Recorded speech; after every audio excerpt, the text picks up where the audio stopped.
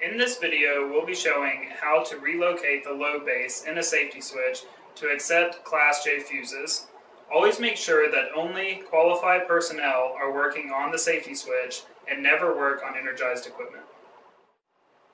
The instructions will be listed on the label on the safety switch and the position is also marked on the interior of the safety switch. You'll first need to remove the load base by taking out the two screws located at the bottom of the load base.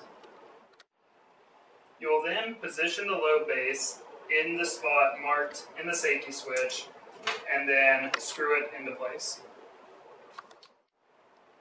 Now, with the load base moved to the Class J position in the safety switch, Class J fuses can now be installed.